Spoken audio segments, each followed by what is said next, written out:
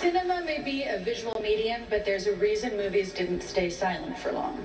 Sound teams transform images into fully dimensional moments by designing, recording, mixing, and editing everything you hear. Yeah, and we mean everything. Sure, the Batmobile, it sounds awesome, but someone has to figure out what Batman's garage door sounds like. That's right, Kate. And someone also has to make F 18 sound kind of F 18ish, right? Totally. And, and, and who decides what a Na'vi braid sounds like when it hits the water? I've wondered that.